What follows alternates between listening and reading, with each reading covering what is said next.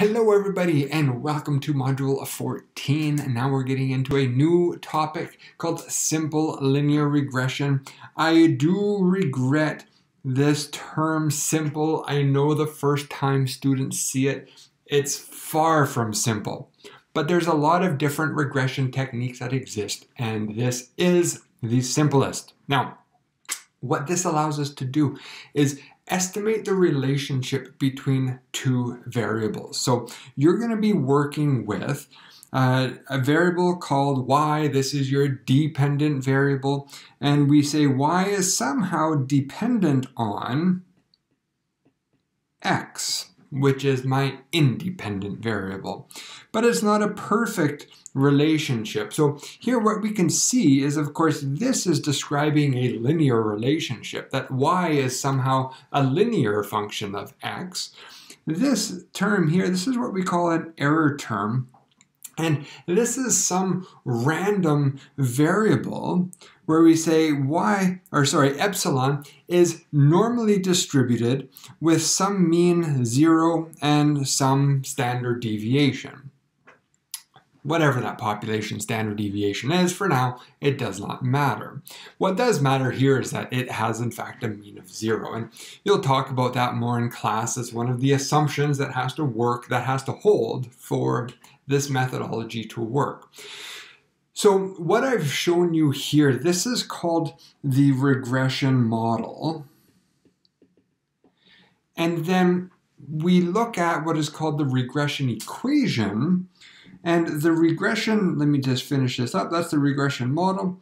The regression equation is then when we take the expected value and that gives us now a pure linear relationship.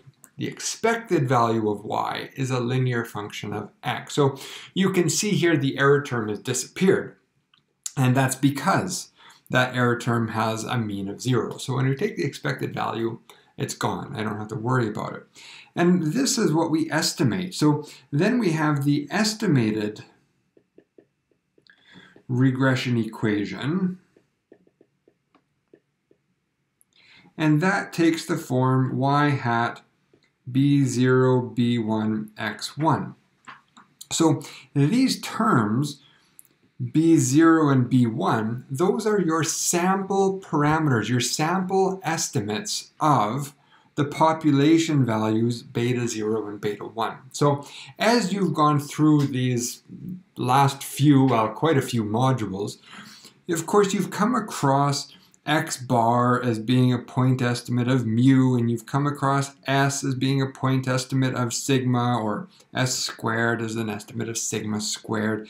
You've come across p bar as a point estimate of p, some unknown population proportion. And, you know, we're just adding to this list. So now we have uh, y hat is a point estimate of the expected value of y. B0 is that point estimate of beta 0, the intercept, B1 point estimate of beta 1, etc.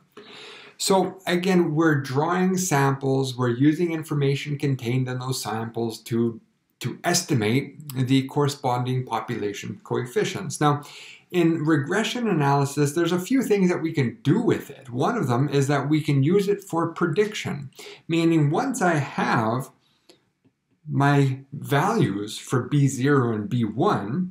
So let's say this is, you know, 10 plus 3x.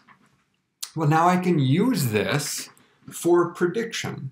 So you give me, or somebody gives me, some value of interest, call it x star, give me some value, 5. What does y equal if x equals 5? Or what is my best guess of y when x equals 5. So you can use it for prediction now. If you're given a value for the independent variable, I can now predict some value for the dependent variable. Similarly, we can also use this eh, for uh, an understanding of the nature of the relationship between x and y. And that is described by that coefficient, that slope coefficient. This slope coefficient is what we call an estimate of the marginal effect. So if x changes by one unit, whatever those units are, if x changes by one unit, that point estimate, that B1, my example, that number 3, that tells me the marginal effect. What is the incremental effect of a one unit change in x? How is that going to affect y? So here I have if x increases by one unit, my estimate of y increases by three units, whatever that is. And of course, as we go through some examples, you'll, you'll get a better understanding of this because we'll have some more context. Now, what I want to do here briefly is to, to connect what we're doing, what you are going to be doing, in Module 14 with some of the things that you are probably already fairly comfortable with and fairly familiar with. So if we think back, if we think back to, to Module 9 or even earlier, when you first understood what a, a mean was and what a point estimate of that mean was, if I take a, a population an entire population of data. And let's assume, as we must for our regression analysis, that our population is normally distributed and has some population standard deviation, but the, the values here don't matter. So here's what that normal distribution would look like. Now I'm just going to kind of flip this around a little bit I'm going to rotate it, use your imagination, and I'm going to rotate this so that I can draw it vertically. And now here I have that population mean mu, whatever it is. Now we understand how those observations are distributed. Right here I have a high frequency of observations close to the mean on either side. And as we move further out from that population mean, the frequency of those observations diminishes. There's fewer and fewer observations further and further out from the mean. So I, I can draw this as, as, a scatter plot, something maybe like this, right? I've got a, a thick density of observations close to that mean. But as we get further and further out, they get more sparse. There's fewer of them. Okay, so here's a different way of thinking, of visualizing that population. So I can also describe this with a fairly simple equation because here I can see, or I can say, that every one of the observations, so if I take, let's just take some observation here, yi, any observation yi can be described by the following equation. It can be equal to the mean plus some deviation from that mean. That deviation is either a positive deviation, as is the case for the yi that I've selected here, or if I take some other observation, it could be a, a negative deviation from that population mean. And of course, this epsilon, well, it is normally distributed. It has a mean of zero, and it has some population standard deviation sigma.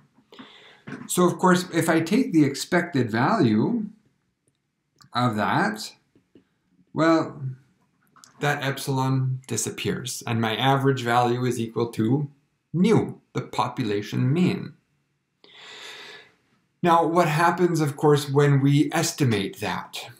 I want to estimate that population mean. Well, then I take a sample, right? So then I don't have all of these observations. Let me get a little smaller here. So I don't have all of these observations. I've only got a subset of that population. And now I calculate a sample. And here's that sample maybe somewhere here. Right, our sample is our sample mean is never exactly equal to the population mean. It, it deviates, and of course we understand the distribution of uh, those sample means. So that means here, let me just give myself a little bit of space. that that predicted value here is equal to x bar.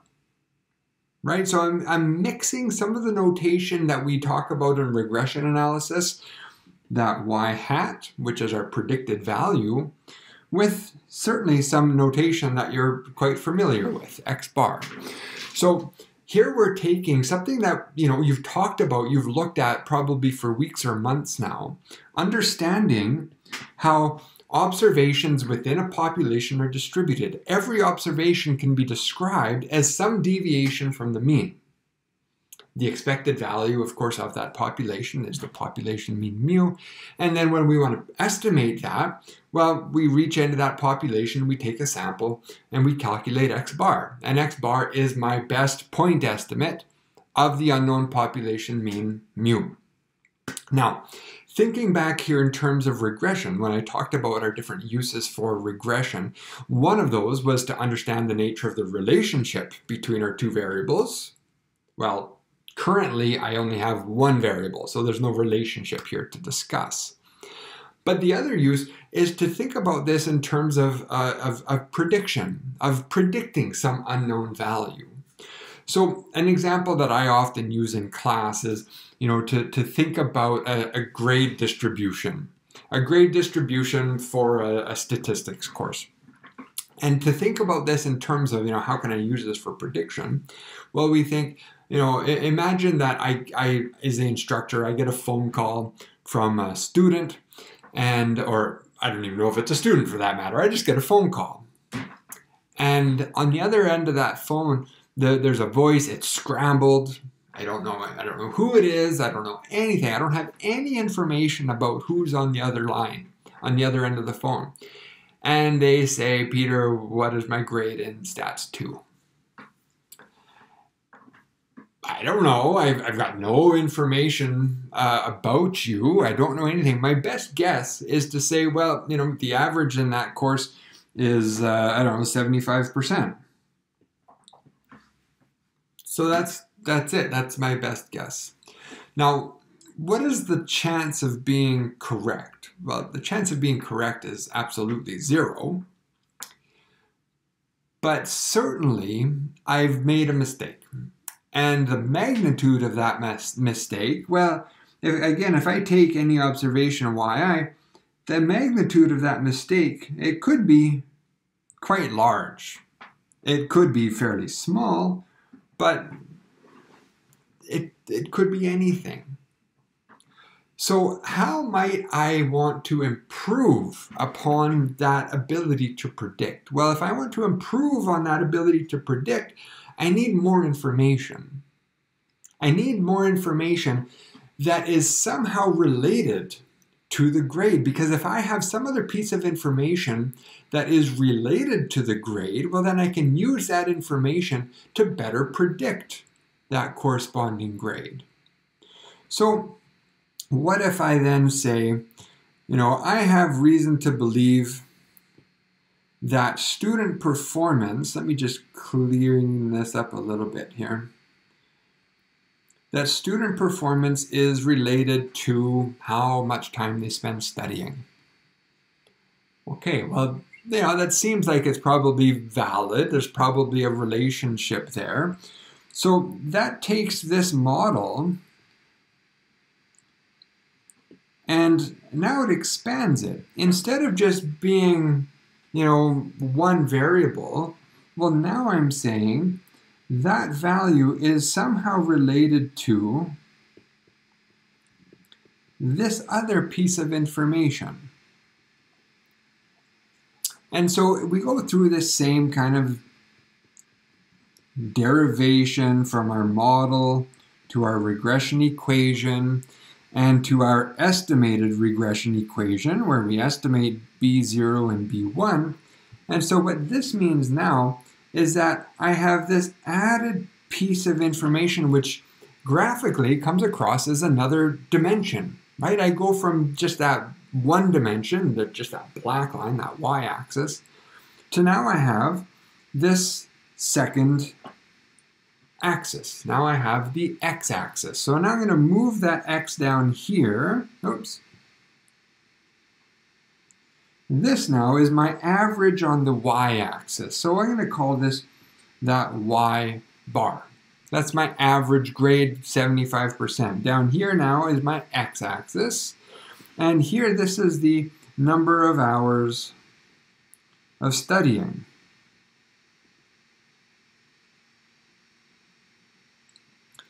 And so all of these data points, and again, I'm not changing any of the data points. All we're saying is that now I have a little bit more information about each of those observations.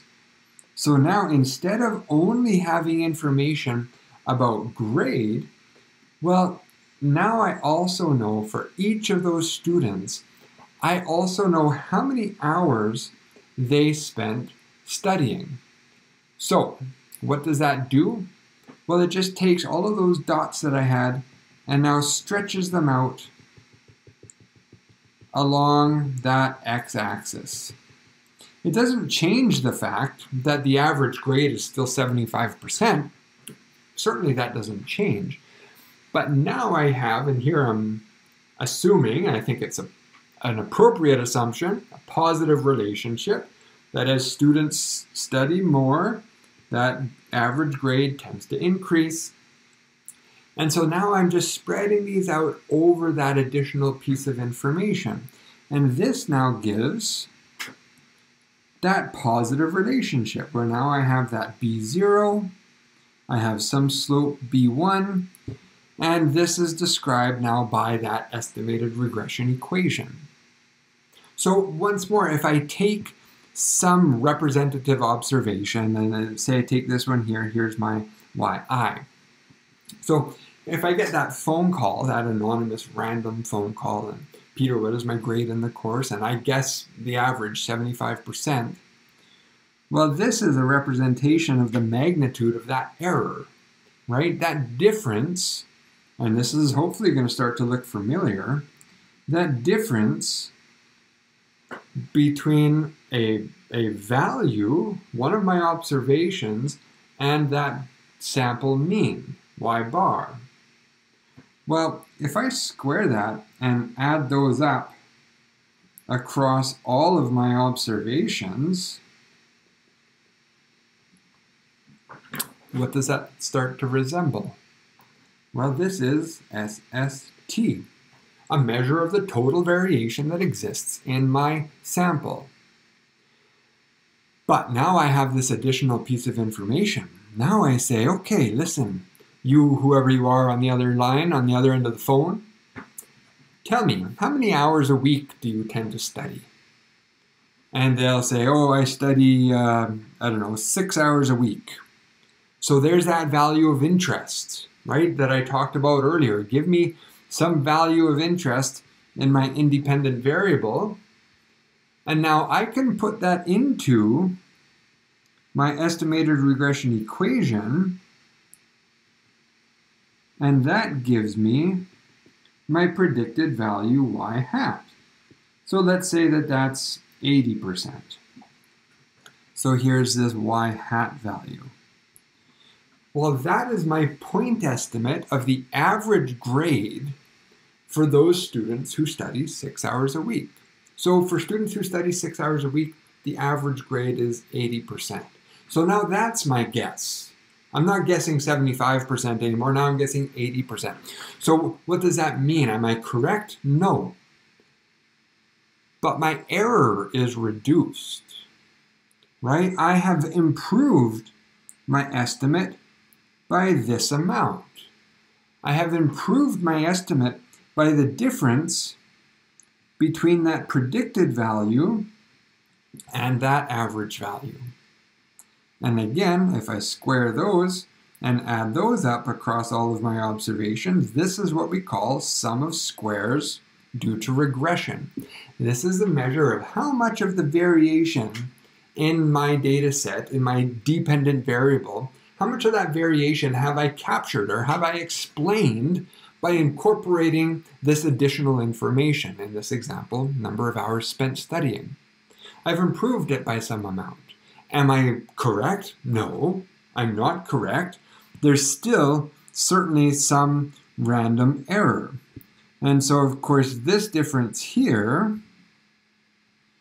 between my observed value and my predicted value, that difference between my observed value and my predicted value, well, that of course is our sum of squares due to error. So you can see there's some ANOVA creeping in here, right? Similar to what we looked at in Module 13. So this is a very brief rundown. Then we'll get into, once we go through getting an understanding of how to estimate these linear relationships, then we'll get into discussions on testing for statistical significance. In other words, does this relationship even exist? Do I have evidence to show that this is different from zero? Right? There's our null and alternative hypotheses. Because maybe that relationship doesn't even exist. Maybe we'll go through, we'll estimate some value b1, and then we can do a test on it, and this is just a very simple t-test, to see if we have evidence to show that that estimate is statistically different from zero. Because if I cannot distinguish it from zero, well then that means that the relationship doesn't exist. So certainly there'll be some hypothesis testing that comes into this, but you can see we're going to be doing a lot more stuff first. The hypothesis testing is going to come later. Just like all of these other things that we've estimated, all of these point estimates, well, for anything that we've had a point estimate, what else have we had? Well, we've had interval estimates as well. And so here, just as we've had these interval estimates around x bar and we've had interval estimates around s and proportions, well, here we're going to have, actually for that one we're going to have two. We're going to have something called a confidence interval, sounds familiar, and something else called a prediction interval. And we'll do confidence intervals here for the slope. We can produce intervals for that intercept, but we are going to focus our discussion here on how to interpret and how to perform analysis with that slope because the slope is really what describes that relationship between your two variables. So this gives you a pretty good rundown, pretty good introduction to linear regression. Module 14 is an extremely important foundation for Module 15. Module 15 is multiple linear regression. And here, where you can see I have only one independent variable, Module 15 expands this to as many independent variables as we like. And so if you struggle with Module 14, Module 15 is going to be a challenge for you because then there's other things that are going to come into that discussion. So if you're going to be doing multiple linear regression, make sure you have a good understanding of simple linear regression because simple linear regression is really uh, a special case of a multiple regression. Okay, I've gone on long enough. Thank you guys for watching. I hope this was a helpful introduction let's get into a few practice problems. Thanks for watching, guys. Bye-bye.